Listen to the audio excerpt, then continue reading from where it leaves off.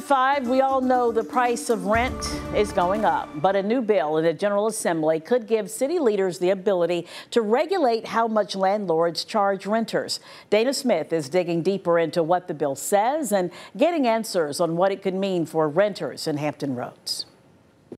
A lot of people say the price of rent is way too high. It seems like it is going up a little bit. I'm not always comfortable in regards to my rent amount. It's definitely too high. Depends on where you're at, yes. And some of them it's not even worth it. It's definitely harder for people with a larger like income gap. But there could be a fix to the rising rent. This bill is a rent stabilization bill, is an anti-rent gouging bill. Delegate Nadarius Clark is behind a bill that would limit how much landlords can charge renters, require landlords to warn tenants about rent increases, and impose penalties if landlords don't comply. With some of these ridiculous rent prices, we want to make sure that we have affordable housing and affordable rent prices. It would be up to individual cities to enforce the legislation or not. This is a local option. So your your city council will have the option to enact this anti-rent gouging measure or not. Is it, so we're not enforcing or mandating uh, anything, but we're allowing lo- localities to have this in their tool belt as a, as a way to, you know, make sure that rent prices aren't getting out of control. This is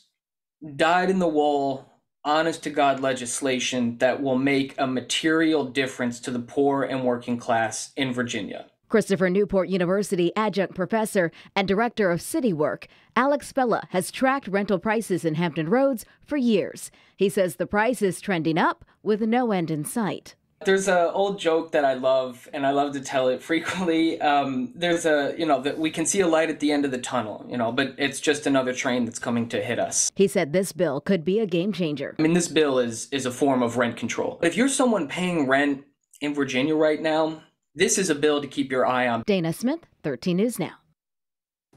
Well, another big part of this bill is the creation of an anti rent gouging board that would oversee rent increases and the rules guiding